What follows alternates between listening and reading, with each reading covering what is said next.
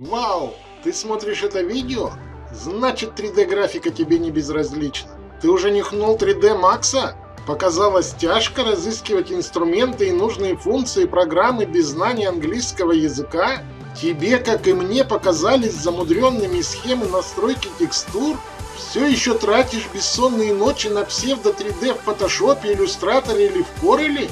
Или ты ждешь ребенка и тебе хочется показать любимому проект новой детской, который пока только в твоей голове?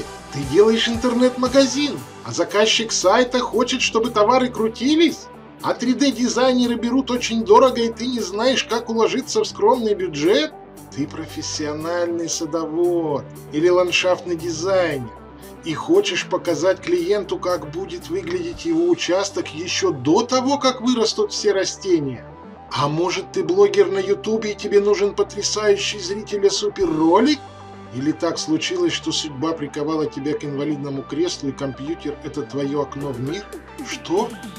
Ты потерял работу и не знаешь, как тебе найти новую? Cinema 4D уже идет к тебе на помощь и уже решила все твои проблемы.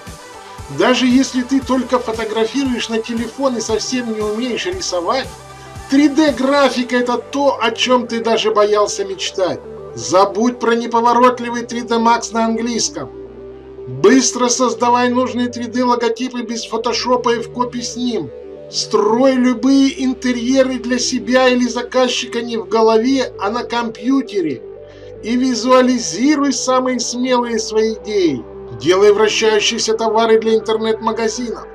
Разводи любые сады. Делай мультфильмы. Будь самым крутым блогером на Ютубе или Инстаграм.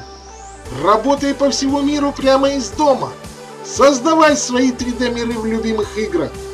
Измени свою жизнь и наслаждайся новыми навыками по полной. А чтобы попробовать, приходи на мой бесплатный мастер-класс по Cinema 4D, на котором ты всего за пару часов под моим руководством сделаешь крутое интро со своим логотипом, абсолютно не умея рисовать.